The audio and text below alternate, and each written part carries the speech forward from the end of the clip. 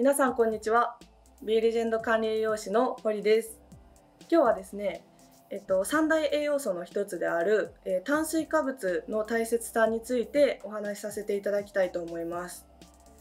今三大栄養素と申したんですけれども三大栄養素って何があるかと言いますと一つが炭水化物そしてタンパク質。と脂質この3つを三大栄養素というふうに呼んでいます、まあ、三大栄養素というだけあって体にとってとっても大切な栄養素だなっていうことは分かっていただけるのではないかなと思うんですけれども今日はですねあのこの3つのうちの炭水化物に注目してお話しさせていただきたいと思います。で最近の傾向で言うとあの炭水化物制限ですとか炭水化物抜きダイエットちょっとそういうのが流行っていて、まあ、炭水化物ってちょっとあんまり取っちゃいけないんじゃないのかっていうようなイメージがどうしてもあるように感じています。まあ、確かにあのトータルの摂取エネルギーが減るので体重が減らせるというのも、まあ、間違いではないですし、えー、炭水化物抜きのダイエットをですね全否定するわけではないんですけれども、まあ、今冒頭でもお話しした通り炭水化物は三大栄養素の一つですでこの3つは体にとってとっても大切な働きをする栄養素ですので極端に制限するなどしてこの3つのバランスを崩すということはあまりお勧めしていません。というのもですね、えっと、こちらの動画を見てくださっている方はあのトレーニングですとかスポーツをされている方多いのではないかなと思うのでそういった方にはデメリットがとっても多いのでそういったところでも炭水化物の大切さについてお話しさせていただきます。まずですね炭水化物は、えーと、糖質と食物繊維を合わせたものを炭水化物というふうに呼んでいます。でこの糖質がですね体にとってあのエネルギーに変わる栄養素ですので炭水化物が不足するということはあのエネルギー不足になります。よくあの低血糖とか効くかもしれないんですけれどもあの体に糖が足りないと、まあ、体を動かすエネルギーが不足したりですとか糖質の一種であるブドウ糖はですねあの脳のエネルギー源にもなりますのでこう考える力が少し落ちてしまったりとかですね体にあまり良くない状況が出てきます。炭水化物が不足することのどうなるかっていうところの1つ目はエネルギー不足です。で2つ目にですねあのこのエネルギーである炭水化物が不足すると、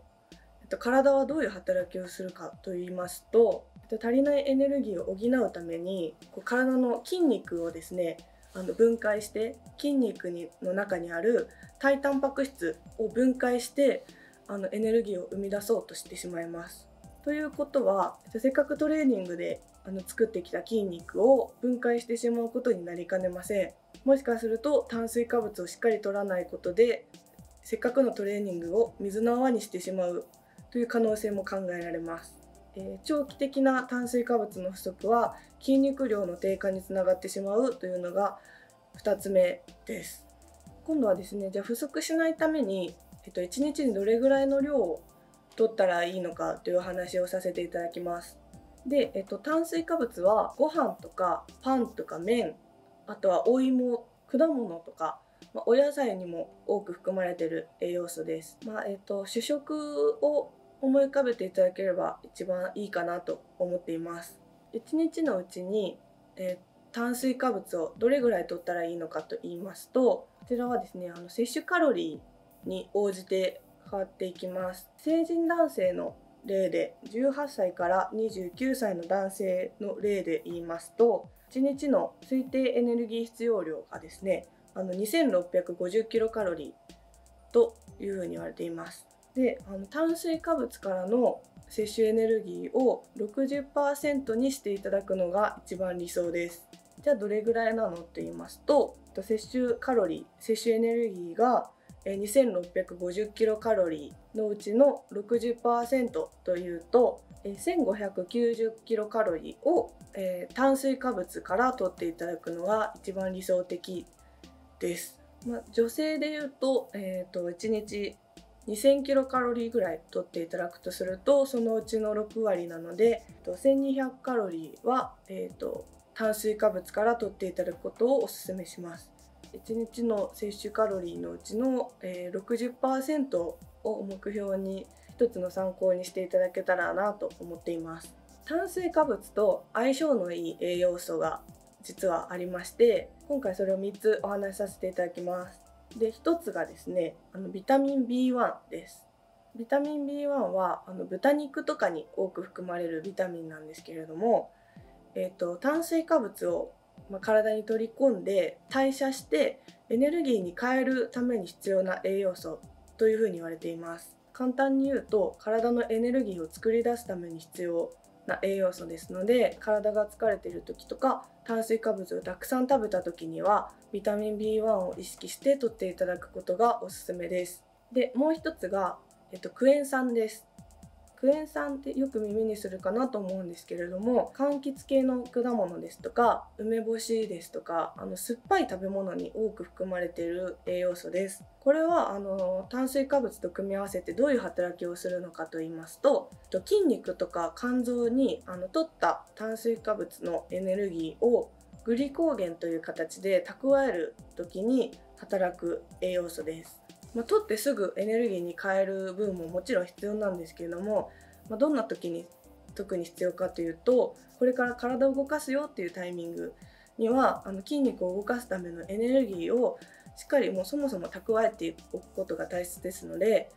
そういったあのエネルギーを貯蓄するためにクエン酸はとてもいい働きをしてくれます。で最後3つ目が、えーと意外かと思うんですがえタンパク質も炭水化物ととっても相性がいいです。えっと、どういう場面で相性がいいのかというと、えっと、運動した後の回復リカバリーにおいて炭水化物とタンパク質の相性がとってもいいというふうに言われています。で、えっと、この理想的な炭水化物とタンパク質の割合なんですけども、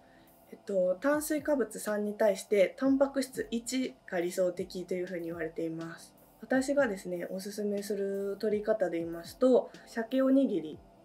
ですとか肉まんを運動後にしっかり食べていただいたりですとかあとはプロテインを飲むタイミングがあればそれと一緒にあのバナナを1本食べていただくみたいな取り方をおすすめしています。まあ、今日のポイントは、まあ、2つですね。えーと、炭水化物が不足するとエネルギー不足になる2つ目が、えー、筋肉を分解してしまうこの2つのポイントをしっかり覚えていただいてお伝えした相性のいい栄養素とですね組み合わせて極端に制限することなくバランスよく炭水化物もしっかりとっていただきたいなと管理栄養士からのお願いです。ではですねあの今回の動画が、えーと、参考になったという方はグッドボタンとチャンネル登録をいただけると嬉しいです。